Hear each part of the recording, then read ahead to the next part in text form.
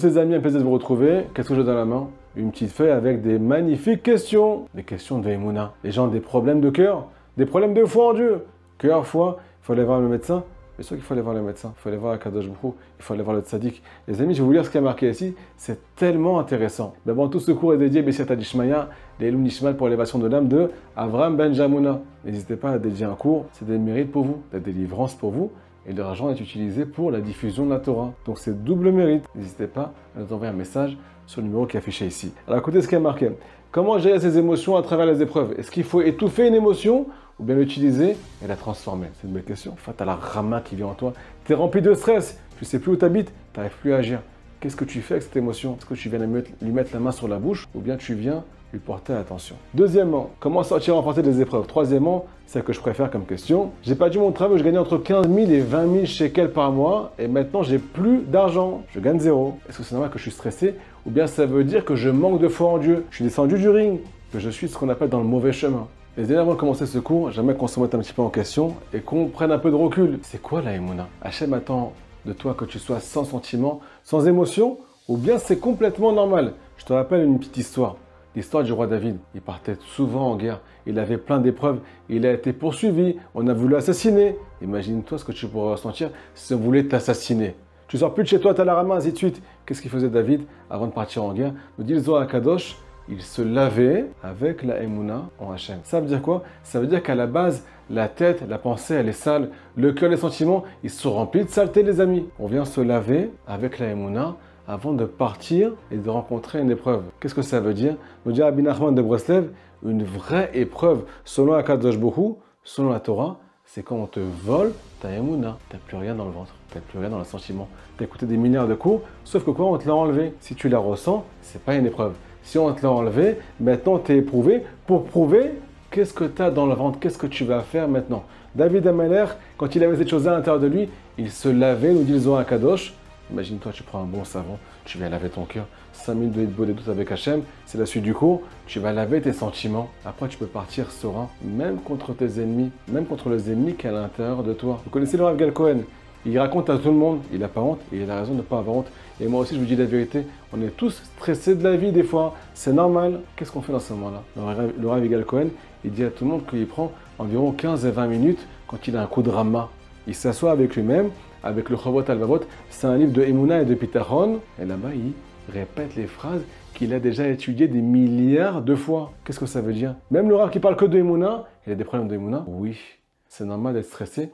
Ça ne veut pas dire qu'on est des gens qui n'ont pas de foi en Kadosh Borou. Tu n'as pas eu ton travail où tu gagnais entre 15 000 et 20 000 shekels, c'est normal que tu as mal au ventre. La question, c'est qu'est-ce que tu vas faire avec ces émotions? Deuxième partie du cours. Qu'est-ce qu'on fait quand on a une émotion qui est forte à l'intérieur de soi? Est-ce qu'il faut l'étouffer ou bien il faut lui parler à cette émotion? Il faut la transformer, ce qu'on appelle proximité avec Hachem. Pourquoi Hachem te prend la tête? Pourquoi il te prend le cœur? Pourquoi il te vole ta émouna? Pour que tu sois un petit peu perdu et que tu viennes le retrouver après avoir été perdu. Comment tu vas faire? Je te dis la vérité, ça dure 5 minutes. Je te raconte une histoire personnelle maintenant. J'ai été beaucoup éprouvé dans ma, dans ma vie moi aussi. Et ça s'arrête jamais, merci mon Dieu. Merci mon Dieu. Sauf que quoi? J'ai entendu un conseil un jour qui m'a beaucoup fait changer. C'est quoi l'aïmouna, les amis? C'est pas avoir la foi en cas de jour 24 h sur 24, c'est apprendre à sortir la tête de l'eau quand ça va pas et remettre l'aïmouna dans son cœur. J'ai entendu dans ce cours-là qu'il fallait prendre 5 minutes, se mettre dans une pièce quand tu as un coup de rama. 5 minutes, tu t'absentes de tout le monde. Tu te tires, tu vas dans une pièce, tu t'assois avec toi-même, tu prends une petite feuille, tu notes ce que tu ressens. Si c'est du stress, tu notes stress. C'est de la peur, tu notes la peur. C'est autre chose, tu notes le nom de ton émotion. Deuxièmement, tu viens noter la hautsma, la puissance de ce que tu ressens à l'intérieur de toi. Des fois, tu crois que c'est la fin du monde. Tu n'arrives plus à respirer, tu es étouffé, ainsi de suite. Rasera. Peut-être que non. Peut-être que, en fait, tu prends un peu de recul, sur une échelle de 1 à 10, tu n'es pas à 11 dans l'émotion, tu es à 3. Des fois, tu es à 4, des fois, tu es à 6. Mais quand tu prends conscience de ton vrai niveau dans l'émotion, tu peux commencer à prendre du recul. Troisièmement, c'est le plus important, c'est ce qu'on appelle maintenant, pendant ces 5 minutes-là, venir parler à Kadosh Bourou et lui dire à haute voix, comme dit Rabbi Nachman, la parole, la discussion avec Dieu vient réveiller la émouna qui est dans le cœur. C'est un passage dans Télim. Et Manti qui daber. Pendant ces 5 minutes-là, tu vas dire à Kadosh Bourou, j'ai confiance dans les 13 attributs de miséricorde. Toi, tu es appelé dans la Torah Avarachamim. Tu es le Père de la miséricorde.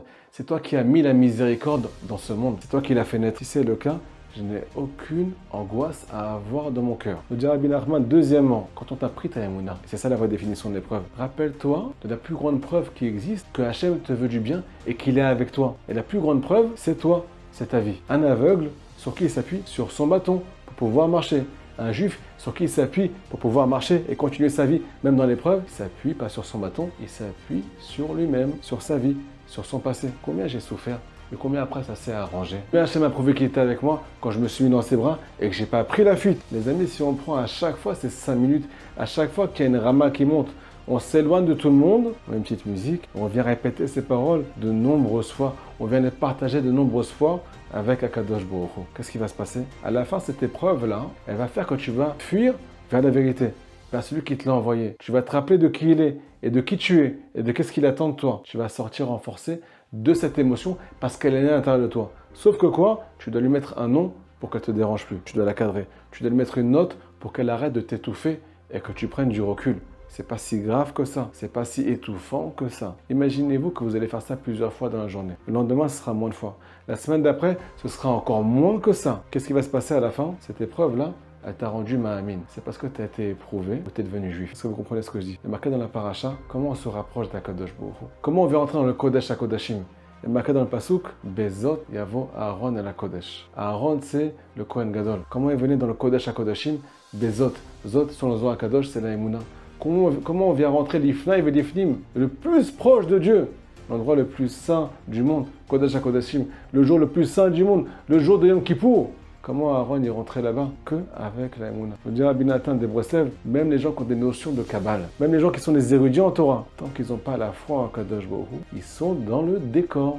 Ils sont en dehors du ring. Celui qui vient s'appuyer sur lui et qui vient se reposer dans ses bras et se remettre en question sans se stresser. Celui-là, il a ce qu'on appelle la porte d'entrée. Après, automatiquement, la sagesse et la compréhension va venir automatiquement. Shabbat shalom mes amis, partagez ce cours au maximum. À très bientôt.